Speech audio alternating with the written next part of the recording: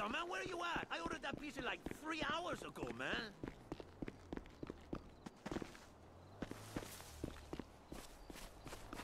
Cypress Flats? I don't live in no fucking Cypress Flats, man. What the hell? Look, man, I, I gave up on you guys, man. I went to Clock and Cluckin' Bell instead. I got me some wings. I thought you was dead.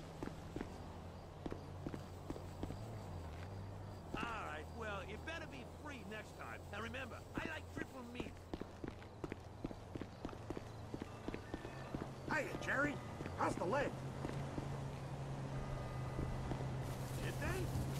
That's good.